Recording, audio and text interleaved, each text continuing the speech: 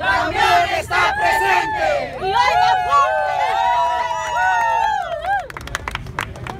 to ensure equality and full justice for all of us, especially immigrant communities, uh, Latinos, Asian Americans, Muslim Americans, um, LGBT Americans.